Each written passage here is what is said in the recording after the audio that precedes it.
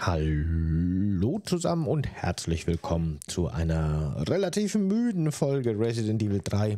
Ich, ich habe gestern die Streams noch verarbeitet und äh, das Downloaden und äh, Bearbeiten, neu rendern und hochladen. Dauert alles halt ein bisschen, ne?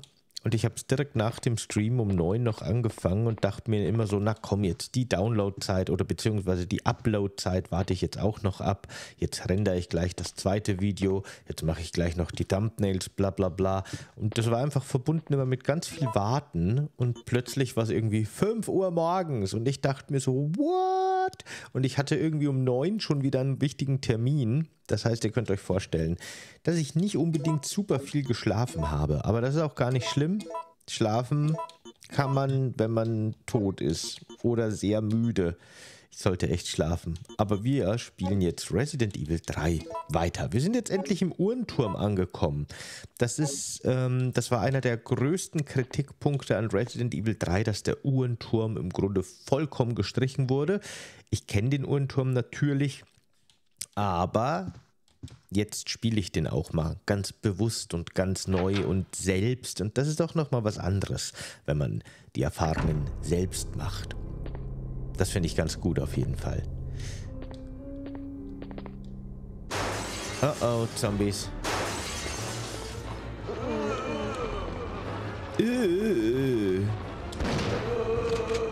Die sind teilweise so schnell, ne? Es ist krass.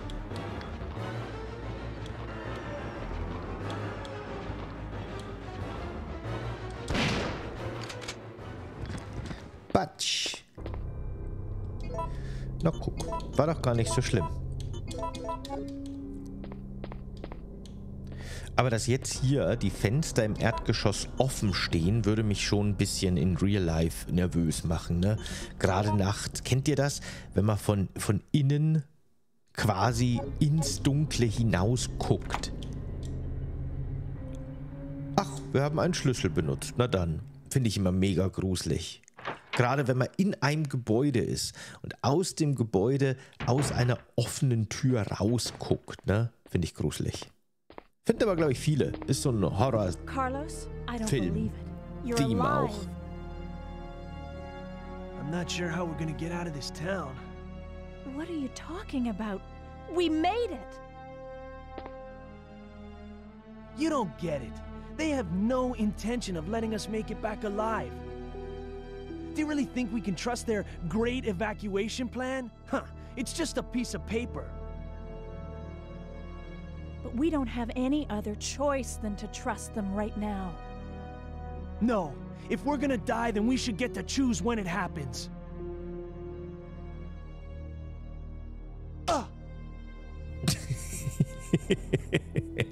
so that's it then, huh? You're giving up? No. I just... Can't handle it. Von Chill will ich nicht geohrfeigt werden. Die ringt Nemesis im Nahkampf einfach nieder. Äh, ich glaube, da... Die kann einem schnell mal köpfen aus Versehen, glaube ich. Ich glaube, die muss ihre Kraft sehr gut regulieren.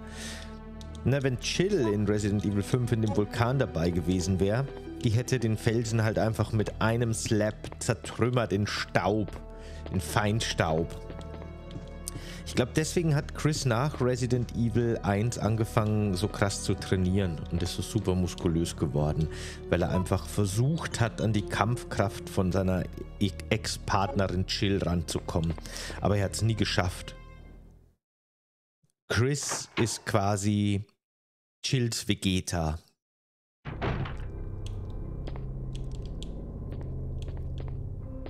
Eines Tages werde ich sie übertreffen.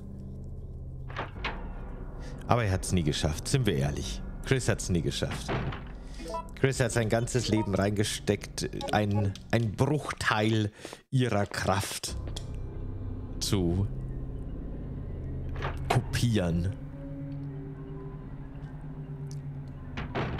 Immerhin kann er laut Lore besser schießen als sie. Das ist auch was wert.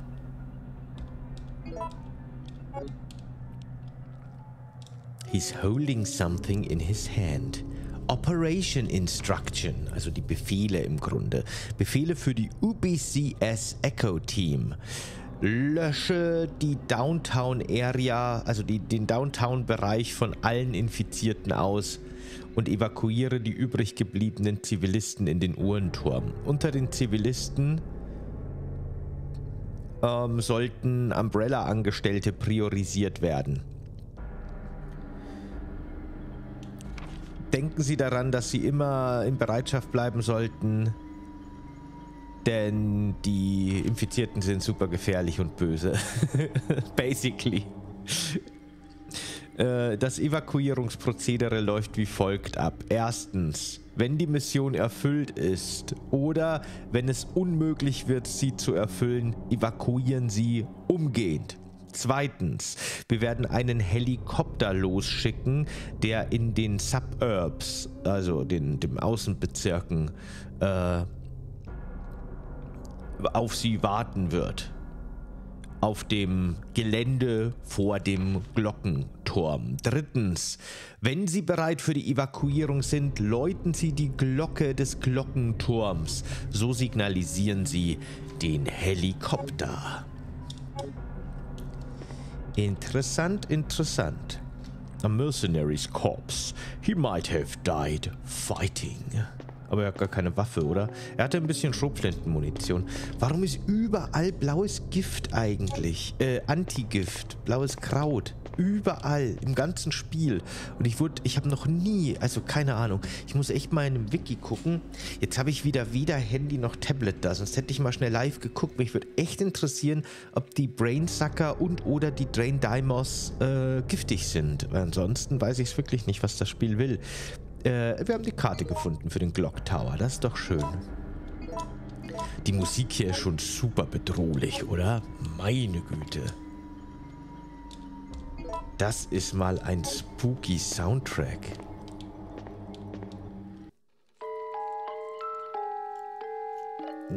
Der ist auch auf eine andere Art und Weise spooky.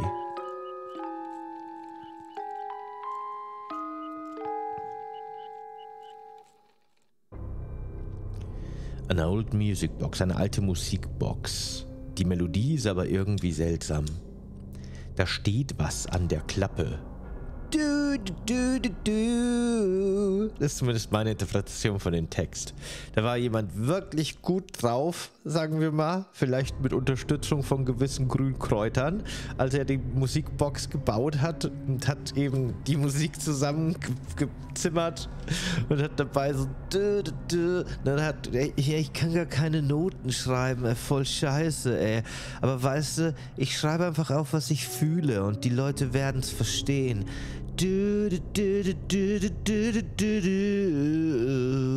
Yeah. So ungefähr, glaube ich, ist das zustande gekommen. D-U-D-D-U-D steht da.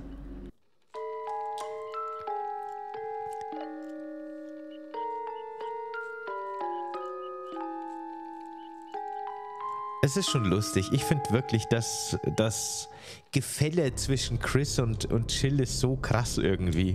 Gerade in den älteren Teilen, wie es dargestellt wird. Chris ist halt wirklich so, äh, ein Rätsel. Ich hol mal lieber Rebecca.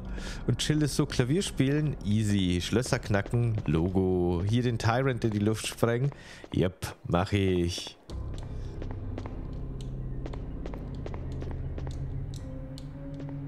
Barrys Plot durchschauen. Kein Problem.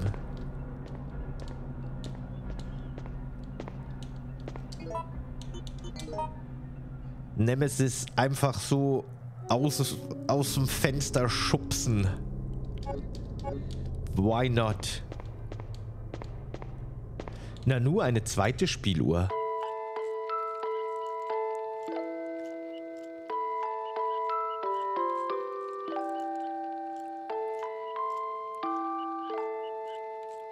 Das klingt schon besser, ne?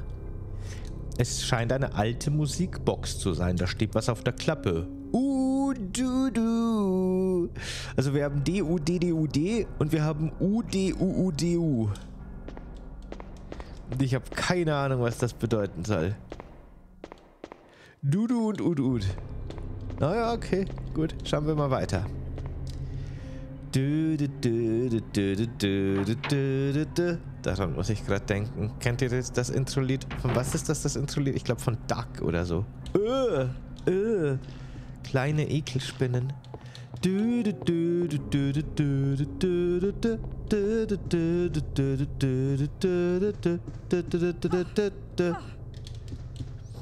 Ich würde die gern alle zertreten. Ich habe jetzt auch mein Messer nicht dabei, aber ich glaube, das Beste ist, die einfach zu ignorieren. Wir schauen uns so gut es geht um. Nichts Auffälliges. Chill, willst du mich verarschen? Ich habe das Foto hier schon gesehen. Altes, äh, alte Postkarte. Kunstpostkarte. Finde ich schön, dass wieder Postkarte draufsteht, ne? Ein Bild einer Postkarte von antiken Uhren. Der folgende Vers ist darauf gedrückt. Postkarte. Ach so, nee. Give your soul to the goddess. Put your hands together to pray before her. Also, ähm, gib deine Seele der Göttin, falte deine Hände, um zu ihr zu beten oder vor ihr zu beten. Ja, super. Und dann werden wir währenddessen von einer Spinne angesprungen. Ich finde es nicht nett. Liegt da noch was Interessantes? Ich glaube eher nicht, oder? Jetzt geht weg, ey. Die sind ja mal nervig. Zum Glück machen diese Kleinstgegner in Resident Evil in der Regel, in der Riegel, in der Riegel, ich kann nicht mehr riegel, riegeln, ähm, äh, kaum Schaden und können wirklich auch ignoriert werden. Aber nervig sind sie trotzdem immer.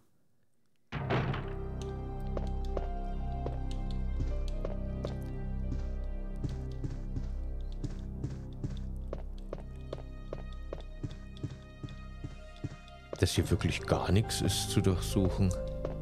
Ha. Wundert mich. Naja.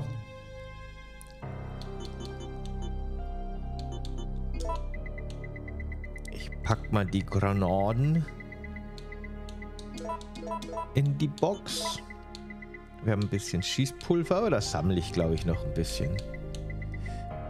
Nö, nö, passt schon. Wir sind gut aufgestellt, habe ich das Gefühl.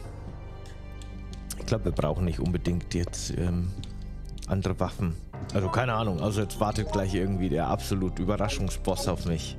Ich glaube, der Wurm kommt erst und ansonsten kann halt Nemesis wieder kommen. Den schaffen wir auch mit der Schrotflinte.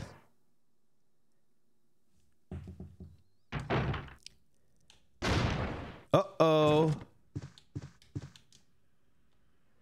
Noch ein Schlüssel, als hätten wir nicht schon genug Schlüssel für den Uhrenturm gefunden, oder? Können wir die beiden kombinieren? Das sind so weirde Schlüssel. Ne, die kann man nicht kombinieren. Die sahen kombinierbar aus, finde ich. Ich habe es tief in meinem Herzen gespürt, aber mein Herz hat mich wieder mal belogen. Es ist, sie ist ähm, kaputt und geht nicht auf, die Tür. Big West Hotel Restoration. Ha. Jetzt wäre ein Feuerwehrschlauch gut, ne? Ah, warte mal. Nee, kann nicht sein. Nee, nee, unsere... Oder ist das unsere Trambahn, die da reingekracht ist? Bin mir nicht sicher. Das sah in der Cutscene irgendwie... Ist die in das Gebäude geknallt? Ich dachte, die ist irgendwo im Garten einfach gelandet. Keine Ahnung. Kann mich nicht mehr so genau erinnern. Oh oh. Was hindert mich daran, jetzt einfach zu gehen? Meines Wissens nach muss ich nie wieder hierher kommen. Aber ich bringe die jetzt mal um, weil vielleicht ist das irgendwie wichtig. Nicht, dass die irgendwas droppen oder so. Aber finde ich gerade komisch.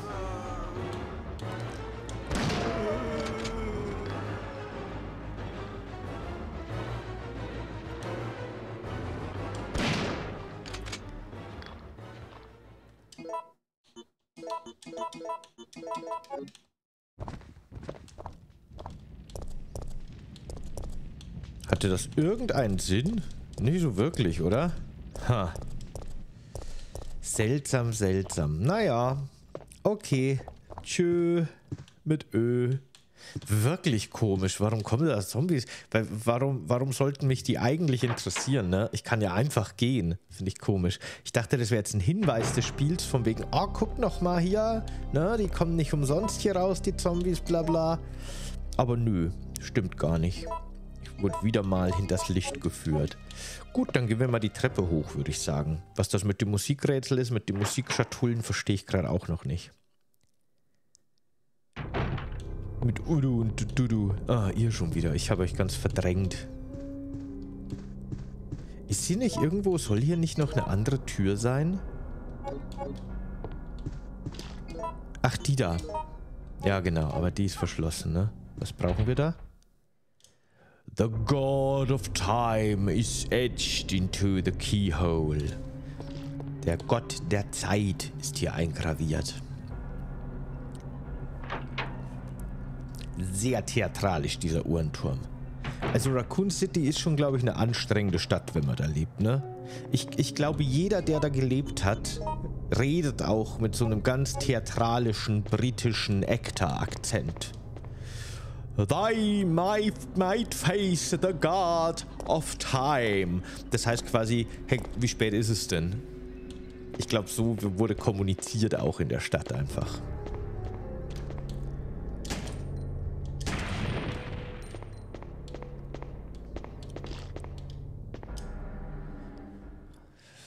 Thou ain't answer me the question one. The god of time, what is his desire? Naja. Will you push the switch? Uh, I guess so, yes. On. Kamera, Licht an. Kamera, Action. Irgendwas, irgendwas funktioniert nicht. Ah, ein Schlüsselloch mit einem Or Ornament einer, einer Kupferplatte. Dem Bild kaufe ich es eher ab, dass es Kupfer ist, im Vergleich zu der grauen Statue, die im Freien rumsteht. Aber ehrlich gesagt glaube ich, die Leute, die dieses Spiel gemacht haben, wissen nicht, was Kupfer ist. Will you use the Glock T Key? Natürlich nehmen wir den Glock T Key. Warum denn nicht? You no longer need this key. Na dann weg damit. Was haben wir da hinten noch Schönes? Ein paar rote Kräuter. Ah, dann wäre mein Inventar voll, wenn ich die jetzt mitnehme. Das ist immer ein bisschen schade, aber ich nehme mal eins davon mit. Ich will ja auch nichts verschwenden, das andere lassen wir mal stehen. Okay, ich schätze, dann klettern wir mal die Leiter hoch.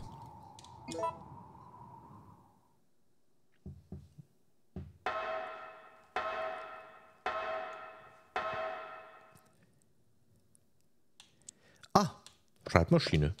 Wenn hier auch eine Kiste ist, das wäre ganz lieb. Hey, guck mal. Liebes Spiel. Cool. Dann packen wir mal das rote Kraut in die Kiste. Das hier packe ich. Ich weiß nicht, ob ich das Buch jemals wieder brauche. Ne? Ich habe das mal wieder mitgenommen, vorsichtshalber. Es gibt ja zumindest in Code Veronica auch so ein paar optionale Rätsel. So ein paar optionale Sachen muss man nicht machen, ist aber gut, wenn man es macht. Wie den leeren Feuerlöscher von Rockford Island mitnehmen. Ne? Muss man nicht, aber später freut man sich, wenn man es getan hat. Ja. Das muss man halt immer wissen. Oder sich ärgern oder Glück haben. Ich schätze mal, das Zahnrad kann ich hier gleich einsetzen, oder? Das ist ja auch lustig. Manchmal macht Resident Evil das und ehrlich gesagt mag ich's. Manchmal findet man die Lösung einfach direkt, direkt am Ort des Rätsels und muss nicht immer durch die halbe Weltgeschichte laufen. Das ist wahrscheinlich an Code Veronica mein einziger Kritikpunkt, den ich habe. Ich finde Code Veronica wirklich ganz großartig. Hm, ich, ich denke so, die Nostalgiebrille mal abgenommen, vielleicht das beste Resident Evil von den klassischen, denke ich schon, würde ich sagen. Aber es ist ein bisschen viel Backtracking. Gerade am Anfang, ne?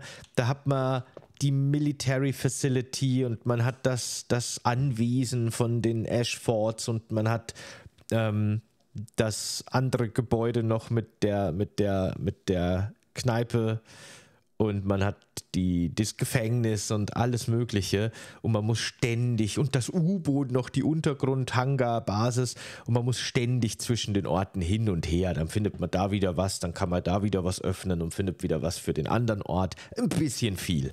Eine Musikbox. A. There are switches marked R to F, also Noten. Operate the switch. Okay.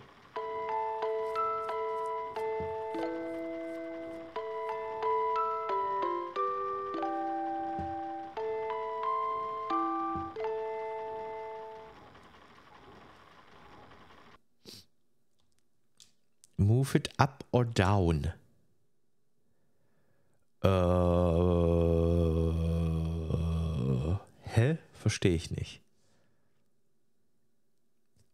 Ah, U, U, Didi, Udu, Udu, Udu, Dudu. Das ist, klingt jetzt wie die Udu-Musik, aber wie war denn jetzt genau? Ah ja, wie war denn jetzt genau? Ich habe es mir nicht aufgeschrieben. Wie war denn Udu? Gleich nochmal. U, Dide, Ud. Ich, ich, ich glaube, es war. Ab. Hä? Next. Down. Aber warte mal, eigentlich sieht das ganz gut aus. Up, down, down, up, down, down. Nee, ich glaube, das war es nicht.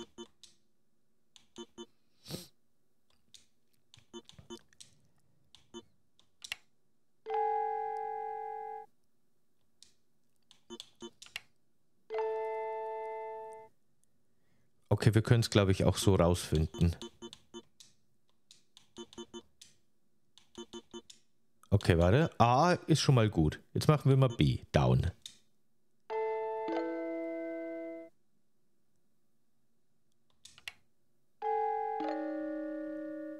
Nee. Okay, das kann man, glaube ich, relativ leicht durch Hören lösen, das Rätsel, oder? Dann gucken wir mal. Wie hört sich's Down an?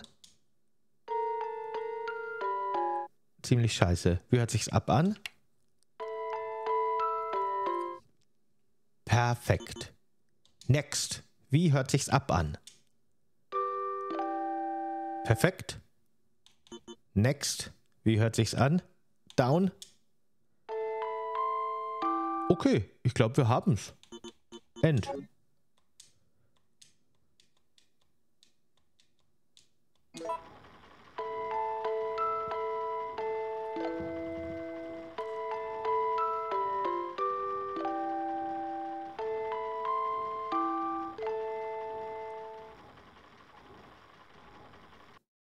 Jo, nu?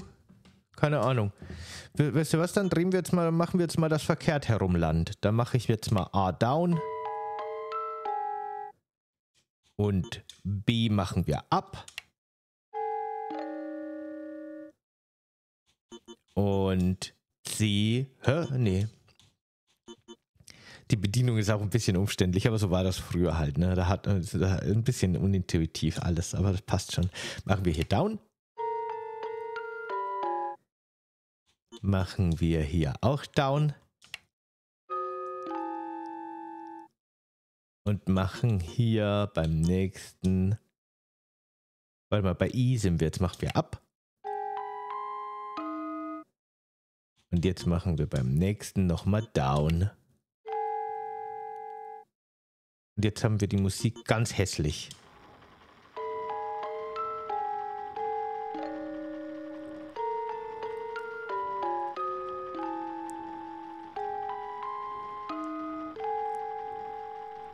Yeah. Das war nice. Hätte ich vorher vielleicht einfach nur irgendwie Play drücken müssen und dann hätten wir es gelöst. Ich trottel. Ah, nein, jetzt müssen wir das alles nochmal anhören und anschauen. Ich möchte das bitte nicht. Ich möchte das bitte überspringen. Ah. Komm, ich wollte das Rätsel noch schnell machen und dann die Folge beenden. Und was haben wir jetzt? Ab. Ja, ich weiß. Down.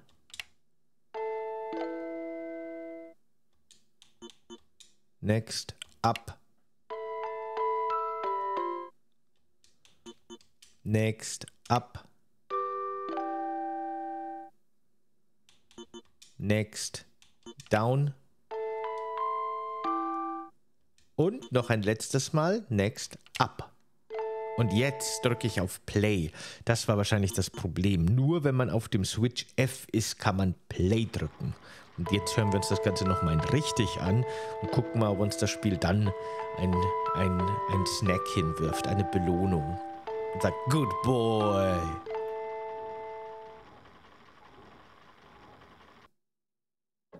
Da, da, da, da, da. Und schon wieder ein Schlüssel. Als ob es in diesem Uhrenturm nicht genug Schlüssel schon gegeben hätte für uns. Den Kronos, die Kronos-Kette. Das klingt sehr bedeutsam. Na Schönchen, Popönchen, Leute, machen wir für heute Schluss. Ich speichere. Und lieber auch mal vorsichtshalber auf einem anderen Slot, ne? Und dann äh, machen wir morgen weiter. Äh, schauen wir mal, setzen wir das Zahnrad ein und gucken mal, was passiert. Danke fürs Zusehen. Bis zum nächsten Mal. Tschö.